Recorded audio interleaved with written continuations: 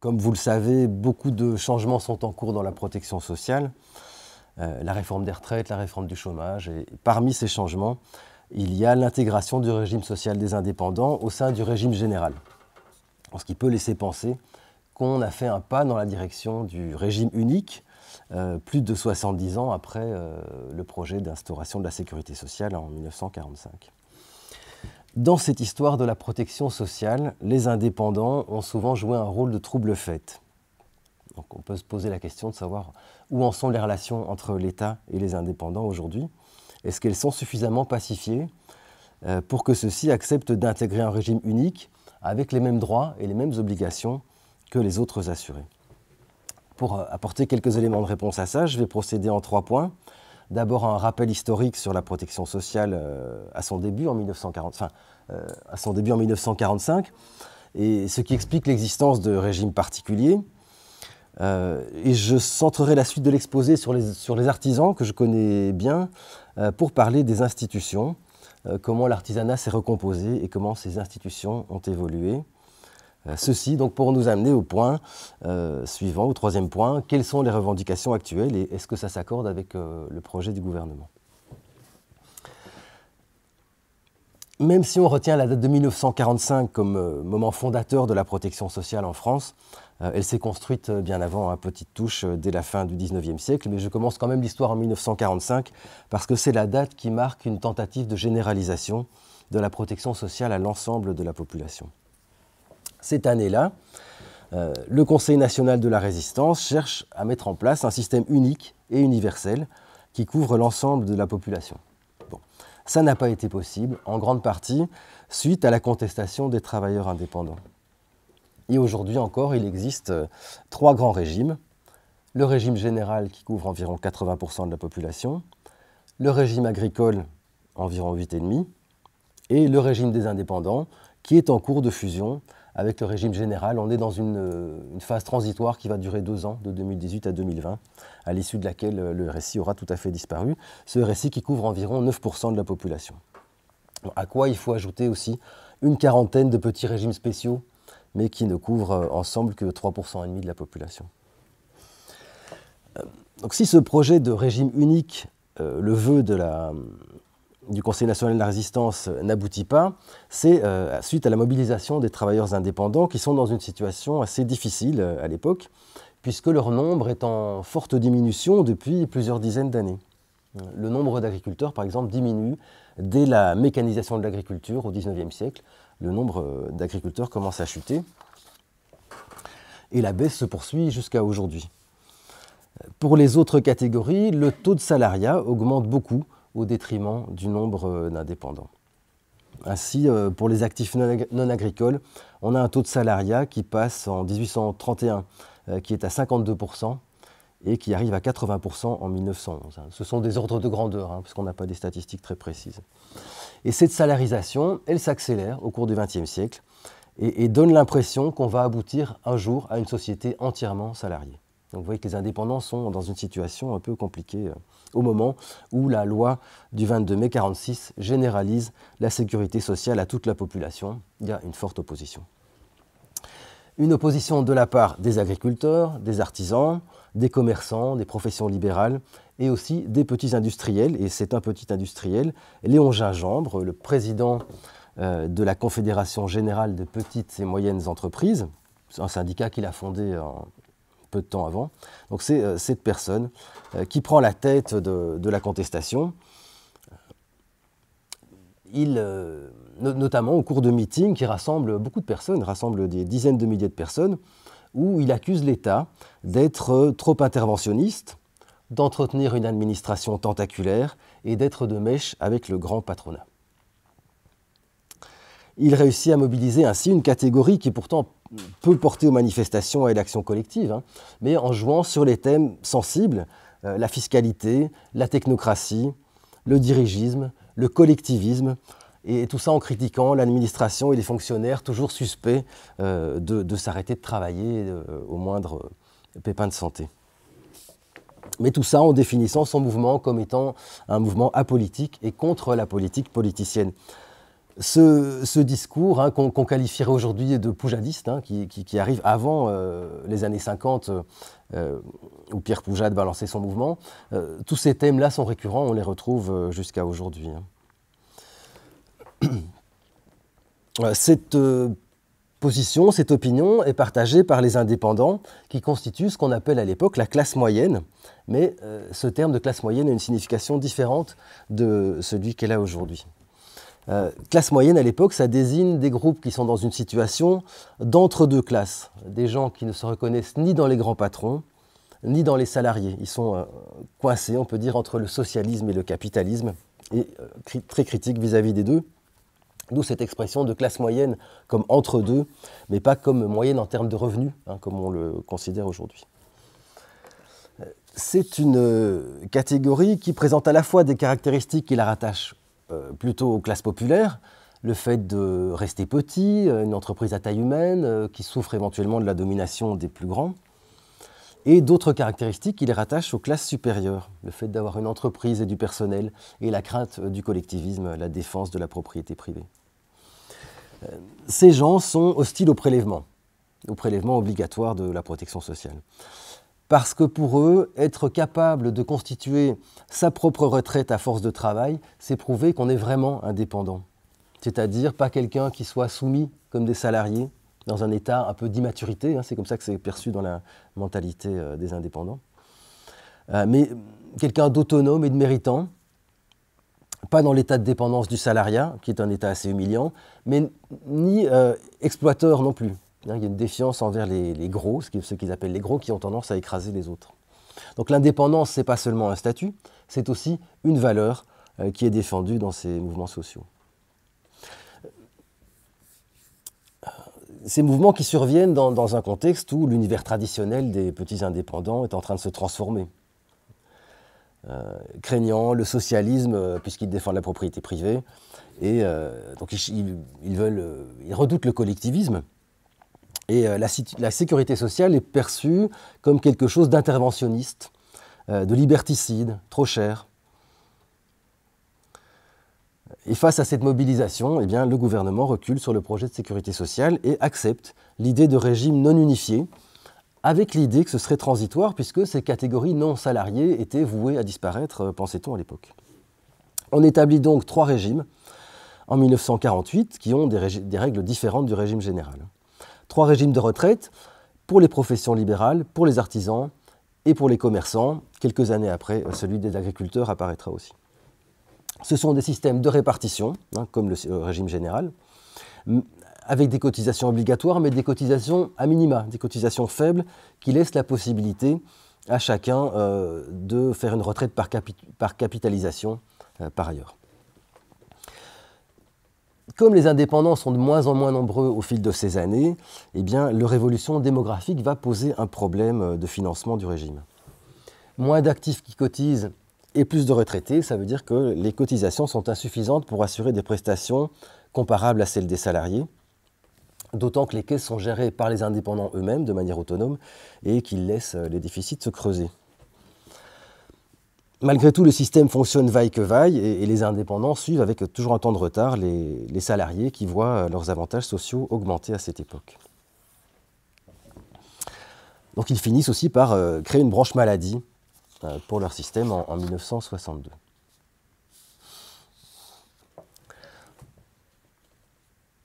Pour couvrir le risque maladie des indépendants, le principe retenu est celui d'une couverture pour les gros risques et pas pour les petits.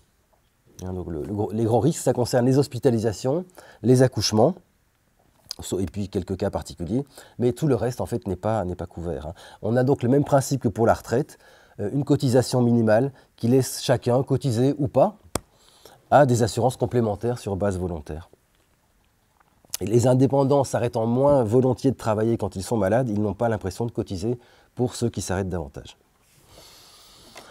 Euh, ce principe de couverture pour les gros risques uniquement, ça permet de limiter le montant des cotisations, mais c'est insuffisant pour compenser la dégradation du rapport entre cotisants et bénéficiaires. D'autant que les prestations à l'époque des indépendants restent faibles, mais celles du régime général continuent de s'améliorer. Donc ils ont sous leurs yeux euh, une amélioration de la condition salariale, euh, alors que euh, pour eux, ça ne s'arrange pas tellement. Comme l'a décrit Robert Castel, le travail salarié devient à cette époque, le travail salarié classique, muni de garanties collectives, de protection sociale, ça devient le statut de référence et l'indépendance devient une forme atypique d'emploi, synonyme de précarité. Or, la, majorité des indépendants, au tournant des années 70, euh, réclament désormais un alignement des prestations de leur régime sur celles du régime général dont ils, observent les avantages. Ils ont le sentiment d'être délaissés pour compte du progrès. Et dans ces années, à partir des moitié des années 50, il y a des mouvements de contestation, parfois violents, qui se déroulent. Le mouvement Poujadis qui remporte euh, un grand succès électoral en 1956 et dans les années 70, le Sidunati de Gérard Nicou. Alors, je pense qu'on a à peu près oublié que ça existait aujourd'hui, mais à l'époque, ça faisait la une des journaux télévisés. Le comité de défense euh, des artisans et des commerçants, qui mène des révoltes fiscales. Alors, par exemple, ils font des actions euh, comme le, entrer dans un hôtel des impôts et jeter tous les documents par la fenêtre. Donc, ça, ça suscite euh, pas mal de, de réactions. Arrivé en 1970, la situation financière des régimes devient intenable et l'État doit intervenir pour couvrir les déficits. Euh, les indépendants finissent donc par renoncer à l'autonomie de leur régime en échange de l'intervention de l'État, hein, qui lui apporte son soutien financier. Progressivement, les prestations des régimes indépendants vont s'annihiler sur celles des salariés et, je raccourcis un peu l'histoire, mais aujourd'hui, leur situation est comparable à peu près à celle du régime général en termes de prestations. Ainsi, les artisans ont depuis 1996 des indemnités journalières, 2000 euh, pour les commerçants, mais il y a encore quelques différences puisque les professions libérales, elles, n'ont pas d'indemnité journalière en cas d'arrêt maladie. Néanmoins, la protection sociale reste coûteuse pour les indépendants puisqu'ils payent à la fois la part patronale et la part salariale. Et finalement, la possibilité de financer une protection sociale complémentaire dépend de leur niveau de revenu. Donc on a de fortes inégalités à ce niveau-là. Contrairement à ce qui était attendu, le déclin du travail indépendant ne s'est pas généralisé à l'ensemble des secteurs. Le travail indépendant n'a pas disparu. La part de non-salariés a continué à baisser durant un certain temps pour se stabiliser aux alentours des 10% dans, les années 90. Euh, Et ça remonte même euh, aujourd'hui. Hein. En 2013, on était à 9,7%. On est en 2017 à 11,5%. Donc la salarisation complète de la force de travail n'a pas eu lieu. Il y a même un certain regain du travail indépendant sous différents aspects. Euh, le travail indépendant, c'est parfois un signe d'adaptation à la crise. On, le voit dans les moments de, grande crise économique. Euh, ça peut être pour des chômeurs la seule solution pour trouver un emploi. Euh, l'évolution du travail indépendant doit être nuancée aussi, puisque selon les secteurs, elle est différente. Hein. Dans l'agriculture, ça continue à diminuer, mais dans les services, ça a bien augmenté. Et puis aujourd'hui depuis les années 80, hein, euh, l'indépendance est encouragée par les pouvoirs publics parce qu'elle est perçue comme un gisement d'emploi et donc une solution au problème du chômage, tant pour les indépendants eux-mêmes que pour les salariés qui sont euh, supposés embauchés. D'autres euh, développements de l'indépendance sont, euh, à, constater aussi, comme euh, par le biais de la sous-traitance, hein, qui est souvent utilisée pour externaliser certaines tâches à des indépendants et contourner ainsi le Code du travail.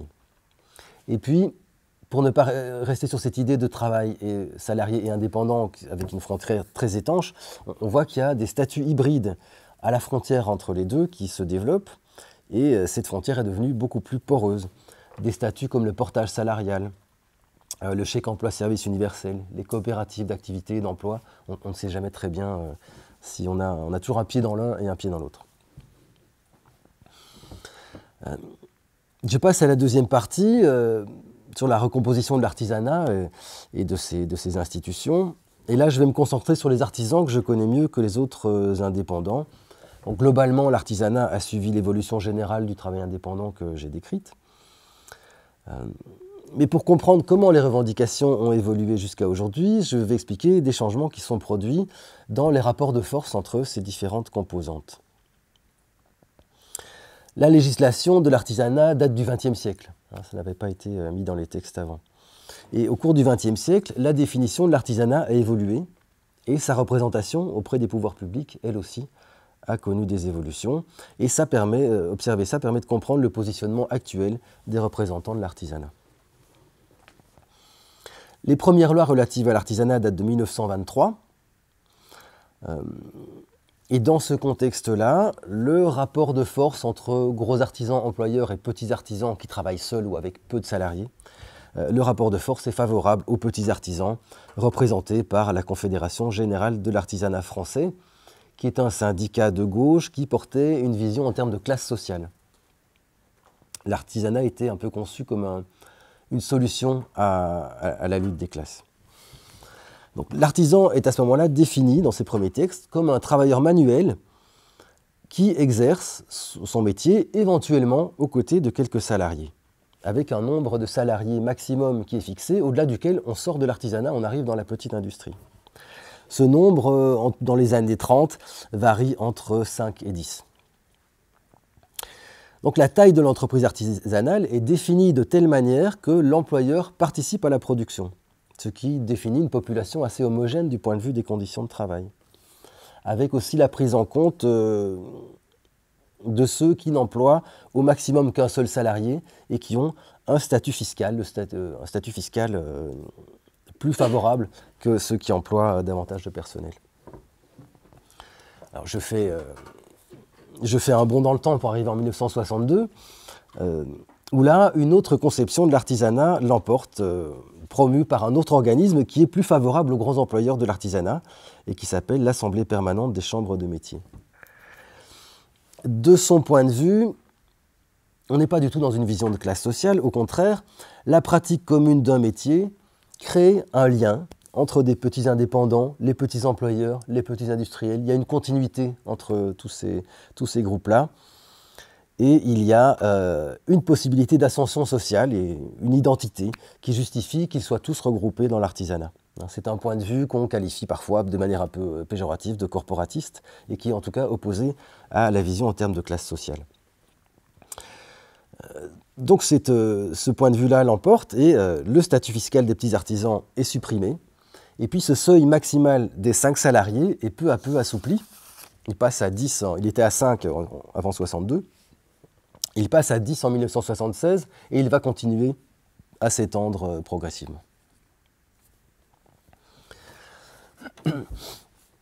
Suite au mouvement contestataire des années 70 que, j'ai évoqué, il y a une, réaction de la part des syndicats traditionnels qui cherchent à reprendre la main et se fédèrent, différents, euh, syndicats se fédèrent pour constituer l'UPA, l'Union professionnelle artisanale, qui est issue euh, des syndicats du bâtiment, de l'alimentation et des services. Euh, cette constitution de l'UPA, ce regroupement au sein de l'UPA, permet de renouer le dialogue avec l'État et l'UPA devient partenaire social à part entière, c'est-à-dire qu'il siège aux côtés des, autres confédérations patronales, le MEDEF et la CGPME, face aux syndicats de salariés. Donc on a pour les partenaires sociaux euh, les syndicats d'employeurs, MEDEF, CGPME et UPA, donc les artisans sont du côté des employeurs, et de l'autre côté les syndicats de salariés. Ce positionnement de la représentation artisanale aux côtés du patronat, déséquilibre encore le rapport de force entre les petits indépendants et les employeurs à l'avantage des, employeurs. Et le discours glisse petit à petit vers la défense des chefs d'entreprise artisanales.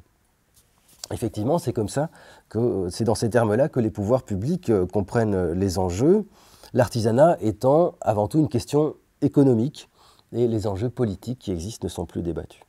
Mais cet effacement de la question politique ça signe la disparition euh, de la représentation des intérêts des plus petits indépendants. Puisqu'on considère toutes les entreprises comme des agents soumis aux mêmes contraintes économiques, eh bien, euh, le seul modèle euh, valable, c'est le modèle entrepreneurial, et c'est ainsi qu'est perçu l'artisanat. la règle du nombre de salariés maximum s'assouplit avec l'apparition de ce qu'on appelle le droit de suite en 1996 et qui autorise une entreprise qui dépasse les 10 salariés à rester dans l'artisanat, euh, avec comme conséquence que des entreprises comptant plusieurs dizaines de salariés sont désormais partie intégrante de l'artisanat. Et cette, euh, la taille imposante de ces entreprises leur donne euh, un poids économique qui est sans rapport avec leur importance numérique. Donc un chiffre qui illustre ça, pour l'année 2013, les entreprises de plus de 11 salariés ne représentent que 4% du secteur de l'artisanat, mais elles réalisent plus de 40% de son chiffre d'affaires. Même chose au niveau des exportations, qui est un domaine très encouragé et soutenu par le réseau des chambres de métiers. Euh, ces mêmes entreprises, 4% de plus grosses entreprises, réalisent les trois quarts des exportations de l'artisanat. Il y a toute une politique qui, euh, existe en, faveur de, cette, euh, des exportations ce qui ressort de ça, c'est que ce qu'on voit, c'est que l'institutionnalisation de l'artisanat dans l'entre-deux-guerres marque le passage d'une définition en termes de métier à une définition en termes de groupe social, et puis celle-ci évolue, évolue vers une euh, définition en termes d'entreprise. Donc au fil du temps, on passe d'une définition qui considère l'artisan comme un homme de métier, qui travaille aux côtés de ses ouvriers, à une définition beaucoup plus large. Ces hommes de métier, évidemment, ils sont toujours là, euh, mais le groupe s'est étendu à des gestionnaires d'entreprises qui, eux, rémunèrent un capital et ne participent pas à la production. Donc on, voit que pour devenir ce qu'on appelle la première entreprise de France, hein, pour reprendre le slogan, le groupe euh, a redéfini ses, contours et les a élargis, on peut dire, euh, par le haut, ce qui provoque une stratification sociale accrue et une divergence, d'intérêts entre les représentants et, la base du groupe social, plus précisément les petits indépendants sans salariés. Pourtant, les petits artisans, alors si on compte ceux qui n'ont pas de salariés ou qui en ont juste quelques-uns, ils restent majoritaires dans le groupe, puisque les entreprises qui comptent trois salariés ou moins représentent encore plus de 80% des entreprises artisanales. Et parmi les artisans qui s'installent, la moitié déclarent qu'ils n'ont pas euh, l'intention d'embaucher de personnel, et donc ils s'écartent tout à fait du modèle entrepreneurial qui est euh, pourtant imposé. Mais leur poids économique est assez marginal, et c'est ça qui explique euh, qu'on entend assez peu leur voix. Aujourd'hui, l'artisanat est plutôt représenté par l'élite économique du groupe, hein, c'est-à-dire ceux qui se conforment au modèle entrepreneurial et qui véhiculent donc une image de l'artisanat qui est conforme à ce qu'ils sont eux-mêmes. Or, le gestionnaire d'entreprise ne partage pas les conditions de travail de ses salariés, hein, parce qu'en général, il n'est pas avec eux sur le chantier ou dans l'atelier. Ça laisse donc dans l'ombre les artisans sans salariés, éventuellement les auto-entrepreneurs, en tout cas pour ceux qui sont immatriculés, à la chambre de métier. Dernière évolution institutionnelle, en 2016, l'Union professionnelle artisanale, qui représentait, je vous le rappelle, les services, le commerce et l'artisanat, a fusionné avec l'Union nationale des professions libérales. Donc on ajoute euh, euh, ce, groupe-là. Donc ce qui accentue encore l'hétérogénéité du groupe.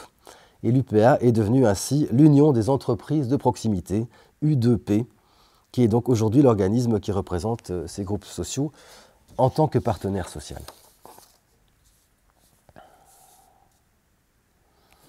Autre évolution importante concernant les indépendants, c'est la, tentative euh, la tentative de création du RSI qui aura duré une douzaine d'années.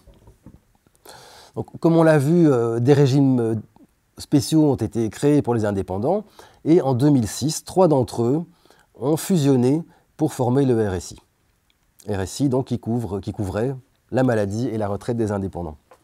Donc il s'agissait de la Caisse nationale d'assurance maladie des professions indépendantes, l'Organisation autonome nationale de l'industrie et du commerce et la Caisse nationale d'assurance vieillesse euh, des artisans. Les professions libérales, eux, euh, gardent un régime de retraite euh, distinct et les agriculteurs gardent un régime social séparé. Donc on a fait un pas vers l'idée de, un pas en avant pour aller vers, le régime unique hein, qui était souhaité en 1945. Et puis on pouvait se dire que cette fusion présentait aussi un intérêt pour une meilleure connaissance de la santé au travail puisque les trois organismes en question avaient collecté au cours de leur existence des données sur la santé de leurs ressortissants et avaient mené bon, quelques études des études par métier, des études sur certains risques comme l'amiante. Mais bon, on n'avait pas de vue d'ensemble, on pouvait se dire, bon, ça va, les choses vont s'améliorer, on aura de meilleures bases de données. mais hélas, hélas non cet espoir de centraliser les données, euh, oui, c'est produit puisque le RSI a existé, mais euh, l'histoire du RSI, c'est avant tout l'histoire d'une catastrophe informatique. Donc les données antérieures à 2006 n'ont pas pu être exploitées. Donc finalement, on n'a pas pu créer les bases de données qui étaient, euh, qui étaient attendues. Le RSI a pourtant bien mené une politique de recherche assez volontariste et énergique, avec une application dans des études interrégimes, des publications euh, le financement de recherche, etc. Mais les données euh, restent quand même parcellaires, notamment parce qu'il n'y a pas de branche accident du travail et maladies professionnelles, ni de médecine du travail pour les indépendants. Or, ce sont des, des organismes, des mécanismes qui élaborent de nombreuses statistiques en santé au travail. Finalement, la recherche s'est surtout développée du côté de l'économie de la santé, dans un souci d'équilibrer les comptes à force de, dysfonctionnements et de bugs informatiques de toutes sortes, hein, comme des cotisations demandées plusieurs fois, avec après des conséquences euh, en termes de saisie, d'huissier, etc., auprès d'indépendants qui ne comprenaient pas ce qui leur arrivait.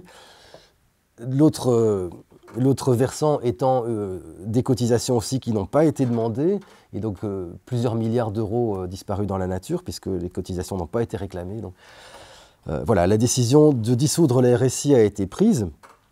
Et les indépendants sont désormais dans une phase transitoire de deux ans euh, vers euh, le régime général. Donc dans cette phase de transition, il y a évidemment certaines négociations qui sont en cours sur euh, les réformes à venir. Pour décrire ces revendications, j'ai observé la position de l'U2P à propos de plusieurs réformes récentes ou qui sont en cours, comme le compte personnel de prévention de la pénibilité, disparu puisqu'il est devenu compte professionnel de prévention. Euh, la réforme des retraites, la réforme du chômage, le statut d'emploi, euh, Uber et la micro-entreprise, la loi de financement en 2019, le rapport Lecoq, tout ça, ce sont des, euh, des, événements récents, des débats qui ont lieu et on peut à chaque fois observer quelle est la position de, l'U2P, quelles sont ses revendications. Qu'est-ce qu'on trouve comme type de revendication? D'abord une série de revendications classiques, celles qui sont historiquement apportées par les indépendants depuis 1945, et puis euh, à la marge de, euh, de nouvelles sortes de revendications qui commencent à émerger. Ces revendications classiques, euh, on peut les classer en trois, en trois catégories, hein, sur les prélèvements sociaux et les tâches administratives sur euh, ce qu'on peut appeler corporatiste, enfin une, approche de la régulation par euh, secteur d'activité, et aussi des, revendications sur la, concurrence. Donc ça, ce sont les, les revendications classiques. Euh, la première catégorie, moins de prélèvements sociaux, moins de tâches administratives, on peut dire que certains succès ont été remportés. C'est à partir de ces principes que le combat contre le compte personnel de prévention de la pénibilité a été mené et qu'une victoire a été remportée par l'U2P. La première victoire étant qu'on retire le mot pénibilité, que euh, le syndicat du bâtiment jugeait trop stigmatisant, hein, a déjà de, sachant que le secteur a déjà du mal à recruter euh, de la main-d'œuvre, si en plus on, désigne, euh, on désigne le travail comme pénible, ils pensent que ça ne va pas les aider à trouver du monde. Donc voilà, première, euh, première chose, mais bon, c'est un peu marginal, hein, mais euh, les revendications ont porté beaucoup sur la complexité administrative du système et le coût du projet. Donc il s'agissait de mesurer euh, dix 10 facteurs de pénibilité. et finalement, alors 6 d'entre eux étaient relativement aisés à mesurer, 4 étaient plus difficiles. Donc on a supprimé les quatre facteurs de pénibilité qui étaient les plus difficiles à mesurer. C'était ça la complexité administrative. Mais ce sont aussi des facteurs qui euh, sont particulièrement néfastes. Hein. C'était la manutention manuelle de charge, les postures pénibles, les vibrations mécaniques et les risques chimiques. Donc difficiles à mesurer, mais avec des enjeux énormes en termes de santé. Donc ça a disparu au nom d'une trop grande complexité administrative. Le coût du projet aussi était mis en cause. Et là aussi, euh, ils ont remporté, l'U2P a remporté une victoire, puisque désormais, le coût euh, de ce compte professionnel de prévention n'est plus supporté par les entreprises, mais est supporté par la branche accident du travail, maladie professionnelle. Autre,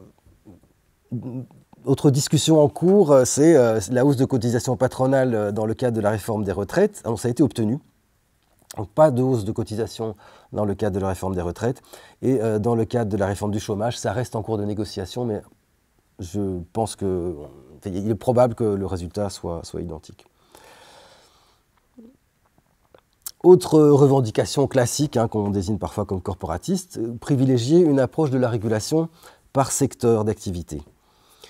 Euh, notamment dans la réforme du chômage, euh, la revendication est que ce soit les branches professionnelles qui négocient, qui fixent le, quota de recours au contrat court, hein, c'est-à-dire euh, qu'on aurait des règles différentes selon qu'on est dans le bâtiment, l'hôtellerie, la métallurgie, pour savoir quelles sont les règles applicables au contrat à durée déterminée, par exemple Afin d'adapter euh, la flexibilité de l'emploi à chaque situation particulière.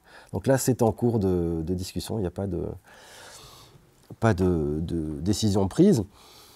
Euh, toujours dans cette logique de régulation par secteur, là, c'est à propos du rapport Lecoq qui prévoit un organisme unique, France Santé Travail, qui regrouperait différents organismes de prévention de santé au travail. Et là, euh, l'UDP s'y oppose et souhaiterait conserver euh, l'autonomie de gestion de la santé au travail, notamment pour l'OPP-BTP, qui est l'organisme qui s'occupe de la santé au travail dans les bâtiments et travaux publics. Là, rien n'est joué là-dessus pour le moment. Troisième type de revendication, des revendications pour une concurrence loyale. Hein, ça, c'est vraiment une, c'est une revendication très ancienne qui se, qui, existait déjà au moment où les premiers supermarchés arrivaient euh, dans l'après-guerre. Donc là, il y a eu une, discussion euh, sur un projet de charte sociale pour les chauffeurs Uber. Il était question que les plateformes accordent quelques droits euh, aux personnes qui travaillaient pour elles en échange de la garantie de la non-requalification de cette relation en contrat de travail. Bon, était l'UDP est très, euh, hostile à, ce genre de choses, euh, comme elle a été hostile aussi euh, à la micro-entreprise ou l'auto-entreprise hein, depuis 2009, qui est perçue comme une concurrence déloyale du fait que les auto-entrepreneurs ne sont pas assujettis à la TVA. Alors on entend souvent les représentants de l'UDP qui disent que les auto-entrepreneurs ne payent pas la TVA. Ils ne sont pas assujettis à la TVA, donc ce sont deux choses différentes. Donc une certaine hostilité envers eux, tout en les embauchant très fréquemment comme sous-traitants. Donc finalement, euh, ils sont aujourd'hui tolérés à condition qu'ils ne fassent pas trop d'ombre aux plus grandes entreprises. À côté de ces revendications tout à fait classiques, de, nouvelles revendications commencent à, émerger, mais à petites touches, à petits pas, au fil des négociations qui se produisent euh, lors des réformes, et pas de manière explicite, puisque l'UDP affirme qu'elle n'a pas de demande particulière d'ouverture de nouveaux droits pour les travailleurs indépendants. Mais à chaque fois qu'un débat euh, a lieu, chacun avance ses pions et donc on voit qu'il y a certaines choses qui émergent quand même.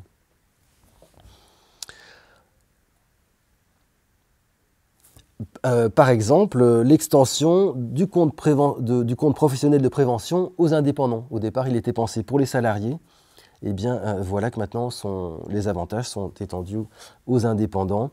Euh, euh, autre, acquis social récent, la garantie d'une indemnité minimale de chômage aux indépendants qui sont en liquidation judiciaire. Ces revendications se font au nom du risque entrepreneurial, mais sans contrepartie, puisque les indépendants ne cotisent ni à la branche accident du travail maladie professionnelle, ni à la branche chômage. Donc on peut tirer certains avantages sans, cotisation au nom de ce risque entrepreneurial. Qu'est-ce que c'est ce risque entrepreneurial? C'est un petit peu euh, le premier de cordée dont nous parlait le président Macron il y a quelque temps. C'est le risque qui est pris par un indépendant qui investit une partie de son patrimoine dans son activité professionnelle au risque de le perdre. Et donc ce, risque justifierait l'ouverture de nouveaux droits sociaux sans contrepartie, sans contrepartie financière. Et on trouve dans certains discours des sciences de gestion euh, l'idée selon laquelle, là je reprends le slogan d'un site qui s'appelle l'Observatoire à Maroc, et dont le slogan est La société doit protéger ceux qui la font vivre, c'est-à-dire les chefs d'entreprise. Donc la société aurait une dette envers ceux qui créent de l'emploi, ceux qui justifieraient donc euh, ce genre de mesures. Donc c'est un nouveau paradigme de la protection sociale assez étonnant, peut-être pas si, nouveau, hein, mais en tout cas ça se manifeste de manière assez, euh, de plus en plus explicite. Je terminerai juste par un, petit commentaire euh, à propos du programme du gouvernement en faveur des travailleurs indépendants, qui est le programme diffusé en septembre 2018, qui évoque l'après-RSI. La suppression du RSI a donc été approuvée par l'U2P qui a dénoncé ces dysfonctionnements depuis plusieurs années. Le projet de gouvernement qui prévoit des réductions de cotisations sociales et des simplifications administratives, évidemment, est bien accueilli, euh, d'autant qu'il est prévu que les représentants des indépendants participent à la gestion du régime, hein, ce qui est tout à fait bien ressenti. Mais d'autres euh, mesures sont davantage discutées, comme euh, celle qui consiste à relever le plafond de la micro-entreprise. Donc là, euh, résistance de la part de l'U2P, qui accepte que ce plafond soit augmenté à condition que euh, le seuil de TVA ne soit pas relevé. C'est-à-dire qu'aujourd'hui, si on fait un chiffre d'affaires supérieur à 30 000 euros annuels, je crois, on, doit quitter la micro-entreprise. Donc ce, taux passerait à 60. Mais si un micro-entrepreneur passe les 30 000 euros, il deviendrait assujetti à la TVA. Donc ça, c'est la, la demande de l'U2P. Euh, rejoindre le, régime général, ça pose un autre problème. Euh, L'U2P dit pudiquement, ce qu'elle demande pudiquement, c'est euh, de garder un régime de cotisation distinct à celui des salariés. Et concrètement, en fait, ça veut dire inférieur, des taux de cotisation inférieurs, qui, dans, ce document du gouvernement, les, les, cotisations sociales des indépendants seraient inférieures de 30% à celles des salariés. Donc ils sont d'accord de rejoindre le régime général à condition de ne pas avoir à euh, cotiser à, même hauteur que les salariés. Petite euh, difficulté aussi du côté de, euh, de ce France Santé Travail, cet organisme à venir France Santé Travail, puisque comme je vous le disais, il y a une volonté de la part des, des indépendants d'avoir une gestion du, de la santé par secteur plutôt qu'au niveau national. Et c'est vrai que cet organisme, le PPBTP, fait pas mal de, choses intéressantes. Hein. Euh, notamment le, voilà, un baromètre Arti Santé BTP publié depuis quelques années. Euh, donc c'est une étude annuelle sur la santé des artisans qui existe depuis 2014 et qui est vraiment intéressante. Donc je ne voudrais pas donner l'impression qu'il euh, ne se passe rien du côté des institutions artisanales pour la, en matière de santé au travail. Il y a des choses qui existent, mais ils préfèrent que ça reste géré en interne. Bon, conclusion de tout cela, eh bien, ça donne l'impression que beaucoup des revendications des indépendants ont été largement anticipées par le gouvernement. Au registre des revendications habituelles, euh, contre le collectivisme, la complexité administrative, l'État intrusif, la fiscalité, etc., on ajoute désormais celui de la défense des entrepreneurs en tant que créateurs d'emplois et au nom des risques qu'ils prennent. On voit aussi émerger une nouvelle figure, émerger, pardon, une nouvelle figure un peu marginale, c'est celle du micro-entrepreneur, petit indépendant qui, en auto-emploi, qui vit son travail à petite échelle, qui en vit euh, souvent assez mal d'ailleurs, et qui n'a pas l'ambition d'embaucher du personnel. Avec une fiscalité réduite et finalement peu de droits sociaux accordés associés à ce statut, jugé assez souvent comme une nouvelle figure du prolétaire, mais qui au moins, et je pense que c'est le côté positif, voit son existence reconnue en tant que telle. Hein, donc ce qui peut euh, laisser euh, la place pour des revendications qui soient autres que fiscales. En matière de santé au travail, il n'y a finalement pas euh, d'avancée notable, en tout cas du côté d'une meilleure mesure de la santé au travail. On ne peut pas dire que on n'a pas l'impression que les années à venir nous donneront de meilleurs outils statistiques pour connaître la santé au travail des indépendants. Ce, qu'on voit aussi, c'est que finalement, les relations entre l'État et, les représentants des indépendants ont rarement été aussi bonnes, sans être, euh, même s'ils ne sont pas d'accord sur tout, ils partagent la même vision de l'indépendant comme chef d'entreprise, euh, d'une entreprise créatrice d'emplois, et qui s'est resté à taille humaine et qui est euh, dirigée par un entrepreneur méritant. Donc, la réponse à la question posée, la disparition du RSI annonce-t-elle un changement dans les rapports entre pouvoir public et indépendant? Finalement, les négociations euh, en cours montrent que les objectifs de l'État et des représentants des indépendants sont largement partagés, si ce n'est en ce qui concerne l'autonomie de gestion. Et là, peut-être que la discussion va être un peu plus conflictuelle. Voilà, je vous remercie de votre attention.